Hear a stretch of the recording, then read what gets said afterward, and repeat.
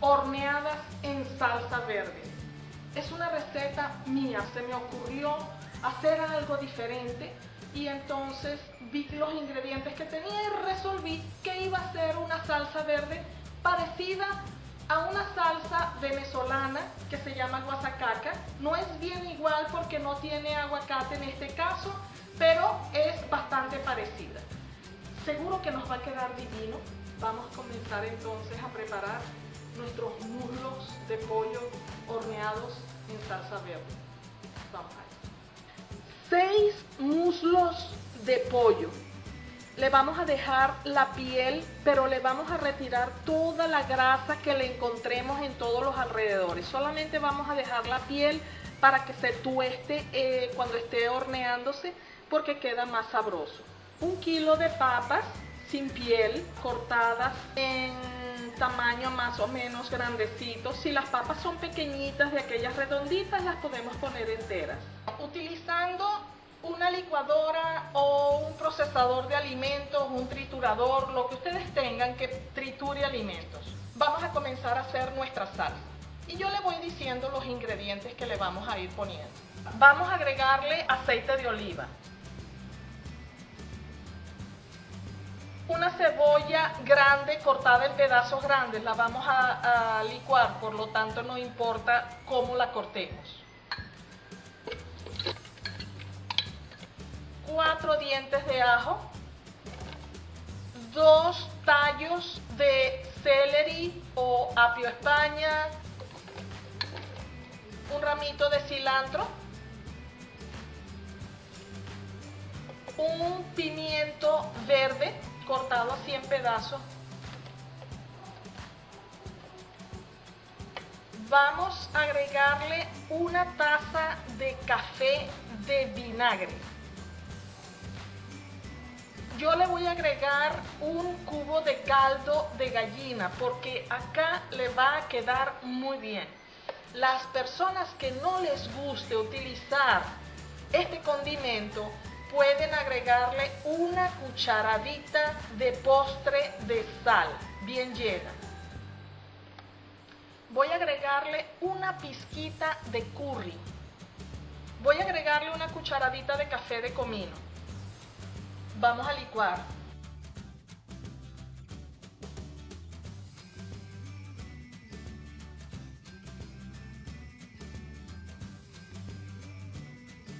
Una vez todo licuado, nosotros vamos a probar a ver si está bien de sal, si necesita un poquito más de sal. Si la queremos un poquito más líquida, le podemos agregar un poquitito de agua. Voy a agregarle una pizca de pimienta.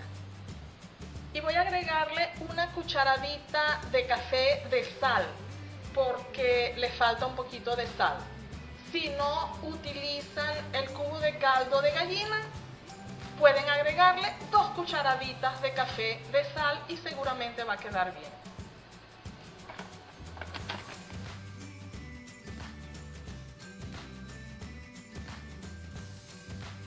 Ya está lista la salsa verde para agregarle al pollo. En un bol suficientemente grande donde quepan las piernas de pollo y las papas, vamos a juntar todo porque tenemos que dejarlo marinando durante un rato. Y ahora vamos a agregarle la salsa. Mezclamos.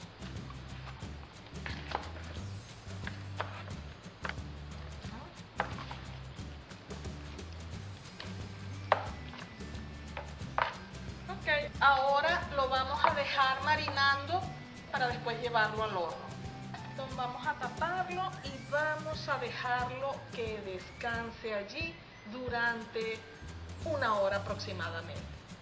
Vamos a comenzar a poner todo dentro de una ah, bandeja de llevar al horno para hornearlo.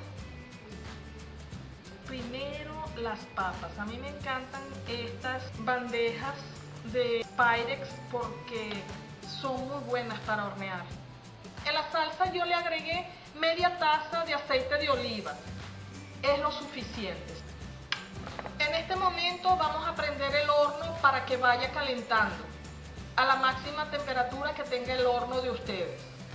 Distribuimos las papas sobre el fondo de la bandeja o del molde y ahora vamos a colocar las piernas de pollo sobre las papas.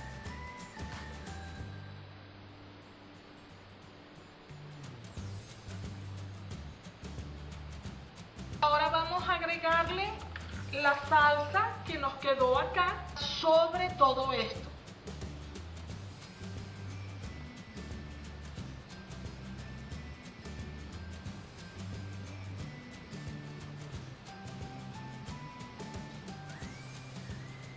Vamos a hacerle esto para que se asiente. ¿Ustedes creen que quede malo esto? Yo creo que no.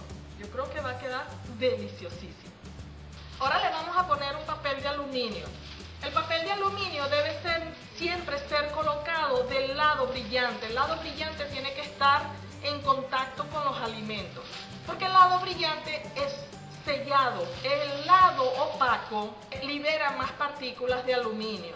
Entonces no conviene mucho que lo coloquemos hacia los alimentos. Entonces siempre coloquemos la parte brillante hacia los alimentos.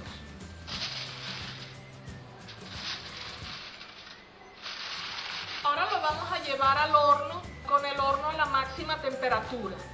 Solamente después que lo retire del horno, yo les diré cuánto tiempo estuvo en el horno, ¿ok? Poco tiempo antes de que ya esté casi cocido, se retira el papel de aluminio para que entonces se tueste un poquito y quede espectacular, con un color lindo, doradito y bien cocido. Transcurrió una hora y yo estoy retirando el papel de aluminio. Así es que nosotros sabemos cuando el pollo está cocido porque lo picamos y no sangra. No sale nada eh, rosado ni rojo. La carne está blandita, las papas también están blandas, por lo tanto vamos a dejar esto unos 15 minutos más para que se dore y estará listo nuestro pollo en salsa verde. Delicioso, huele increíble. Ya está listo las piernas de pollo en salsa verde. Están bien tostaditas. Estuvieron una hora con 15 minutos. La primera hora tapado con el papel de aluminio, luego retiré el papel de aluminio para que se tostara y redujera el líquido de la salsa. Bueno, ya serví, ahora lo que vamos a ponerle es un poquitito de cilantro cortadito por encima que le queda muy bien y perfuma el plato también.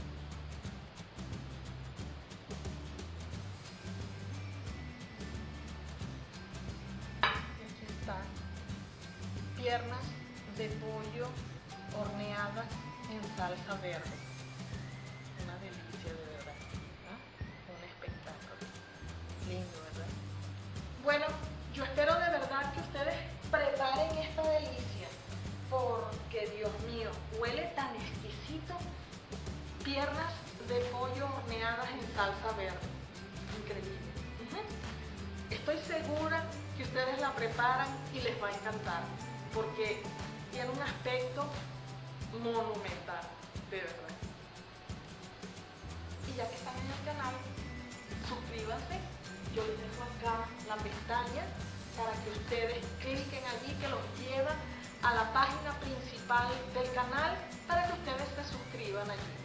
Dejen sus comentarios de todas las recetas y en especial de esta receta que les he ofrecido y nos vemos en la próxima receta. Y hasta allá. Chao.